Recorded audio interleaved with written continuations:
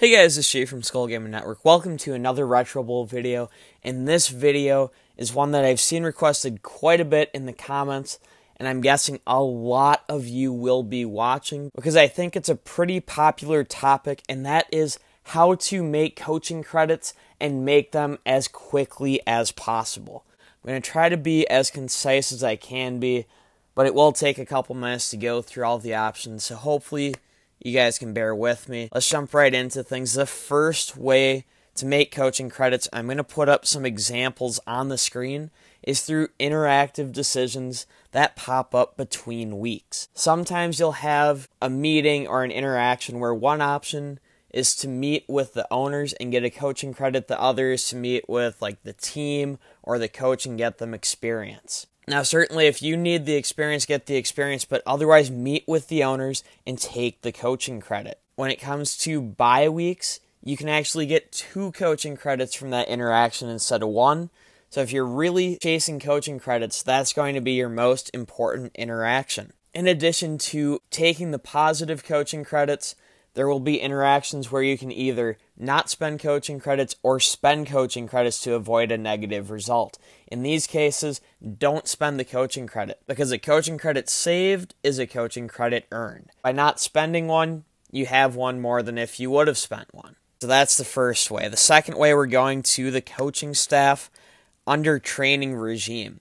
If you set your training regime too hard, you are going to get more coaching credits from leveling up your players. The reason being, once you have a player where their attributes cannot be upgraded any further from where that player is at, each time they gain an experience level, instead of giving you an attribute upgrade, the player will give you one coaching credit. Editor's goal here, if you have a coach go past level 10, you'll get one coaching credit each time they level up as well. By having the training regime on hard instead of medium or light, you'll level up faster and you'll get more of those coaching credits for max level players.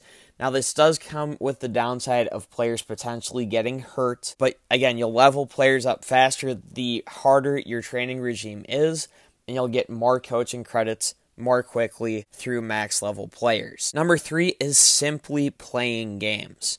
Every time you complete a game, you will get between one and three coaching credits depending on your difficulty and depending on your fan support.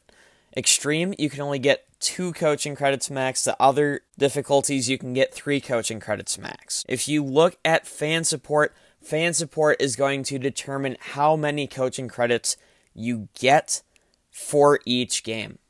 If your fan support is into the third bar, which is over 67%, you will get the maximum number of coaching credits per game, which will be three on the lower difficulties and two on extreme. If you're in that middle bar, you'll get two coaching credits. If you're on the lower bar, you'll only get one coaching credit. Now, how do you upgrade fan support? There are four main ways. Number one, you can upgrade your stadium, unless like in this case, the save I'm on has a maxed out stadium. Each time you increase stadium, you bring some fans into the stands and it boosts your fan bar. That being said, it normally costs more coaching credits to upgrade the stadium than you're going to get back for the upgrade. But if you're at like 28%, you could upgrade maybe for two coaching credits, get to 33, 34%, and then get two coaching credits per game for the next few games when you'd be waiting to upgrade. So in some cases, it can work. The next way is through winning games. Each time you win a game in Retro Bowl, your fan support automatically increases a few percentage points because your fans are always going to be happy when you win. So, losing games, you're going to automatically lose fan support. So, it's really important that you win to keep building those fans throughout the season. You can also get a coach. Let's see if there's any that I can show right now. I don't think there are, but there is a coach skill, kind of like it says negotiator here, but the coaching skill is for fan favorite. So you get the fan favorite coaching skill that will automatically boost your fan support because your fans will love your coach. Now, the caveat with that is if and when you fire or replace that fan favorite coach, your fan support will take a hit. But early on, it could be good to get that fan support. And then once you're at 100%, let's say, like right now I'm at 100%. If I fired a fan favorite, I might drop to 90% or 80%. I don't know the exact number, but I could absorb that hit because I could keep building my fans back up by continuing to win games. And then finally, those interactions that will give you direct coaching credits, some of them will give you an option for fan support. Anytime that I have an option for fans and no option for coaching credits, I always take the fan support because that is going to indirectly boost my coaching credits.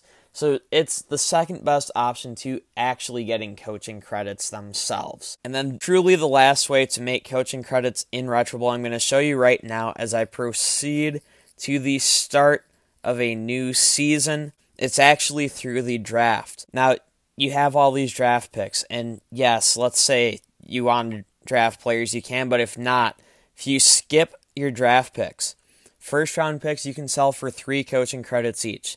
I have four of them, so I just got 12 coaching credits. I went from 183 to 195.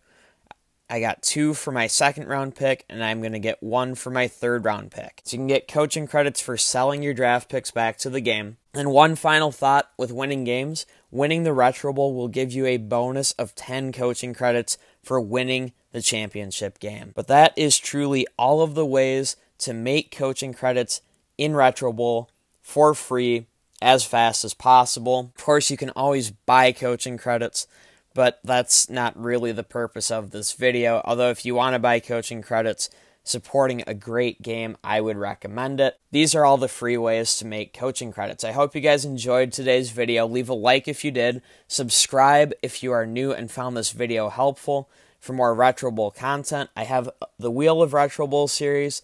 I also have several guides on this channel, and I'll be making more guides. Let me know in the comments did you find this helpful? Also, let me know in the comments what other videos you would like to see me make.